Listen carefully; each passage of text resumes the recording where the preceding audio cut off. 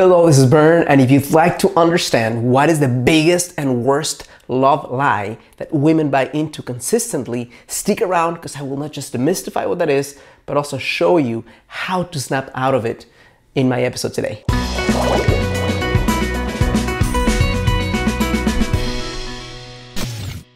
Hello, this is Bern. Welcome to your great life greatlifetv.com. Today is another edition of Get the Love You Crave, and I am super excited and humbled to be sharing with you the biggest and the worst love mistake, love lie that women buy into and how to turn it around.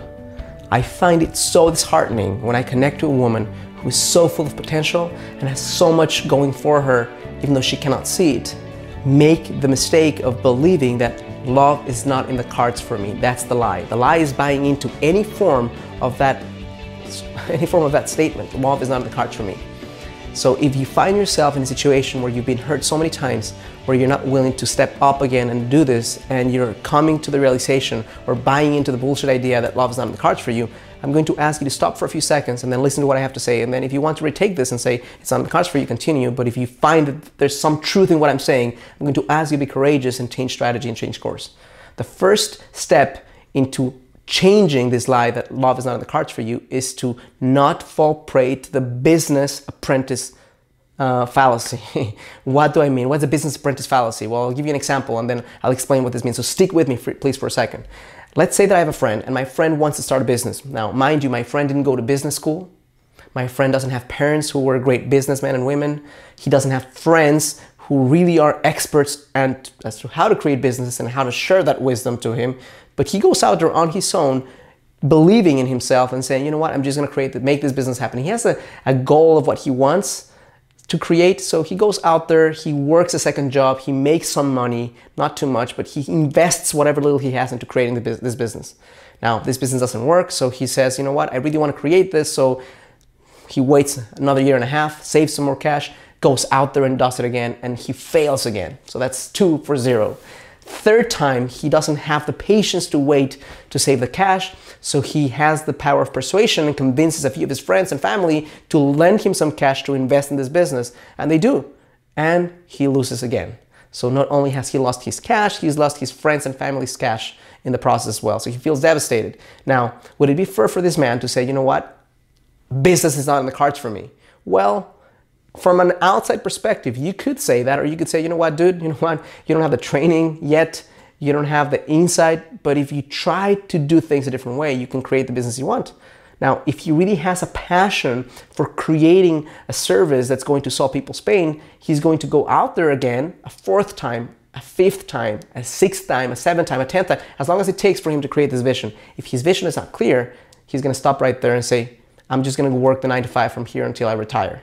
So here's the, the challenge. Many of you are in the same situation where maybe you have your heart broken more than three times, maybe four, maybe five. Really intense times. I doubt that it's been more than five really intense times, honestly. After talking to thousands of women around the world, I'd be surprised if this happened to you seven times at the super intense level. You know, so five times is probably, I'd say it's average, three, four times intensely. Now, it's very unfair for you to say, love is not in the cards for me, when you may have never studied how to create an amazing relationship, where your parents, I'm gonna take a wild guess, they don't have the best example for you, when your friends don't have the best possible relationships to share with you how to create this. So it'd be very unfair for you to say love is on the cards for me if you don't really have a lot of insight into how to create an amazing relationship.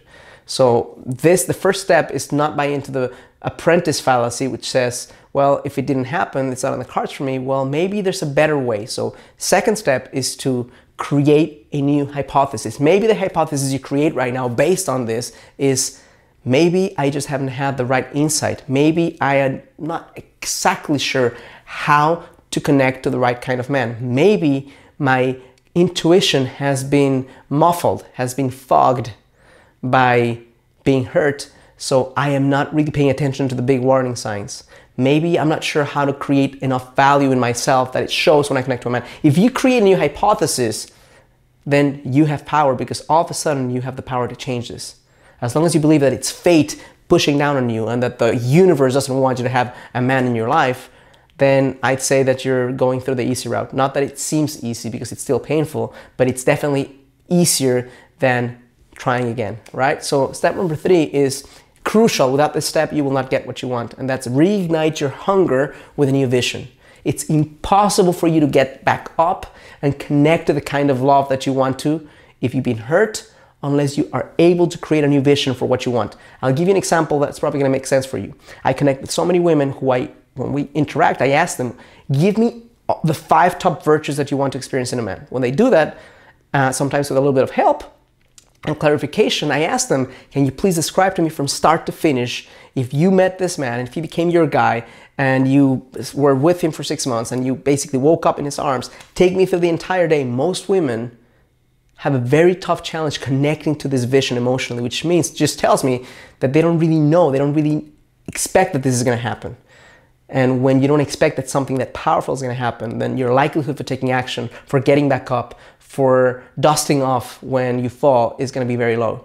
So if you're able to create that kind of vision, you'll be able to pull through.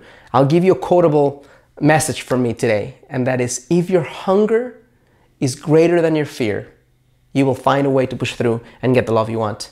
If your fear is greater than your hunger, you will stay stuck indefinitely until your hunger gets bigger.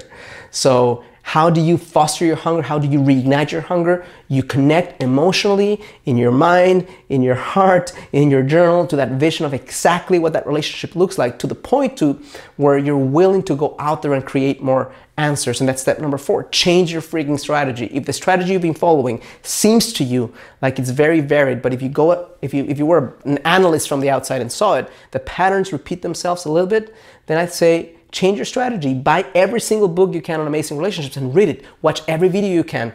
Get mentoring, go to therapy, do anything you can to change the course of your strategy. If you change your strategy and you create a new vision and you take the right steps, finding love is in the cards for you. And let me tell you something super honest with you since we're being so heart to heart here. It takes absolutely no guts to say, I'm hanging in the towel. It's way easier to hang in the towel than it is to say, you know what, I'm going to go out there and risk again. Because if you create this belief that love is not in the cards for you, you no longer have to try, you don't have to get out there, you don't have to risk, you never have to be rejected.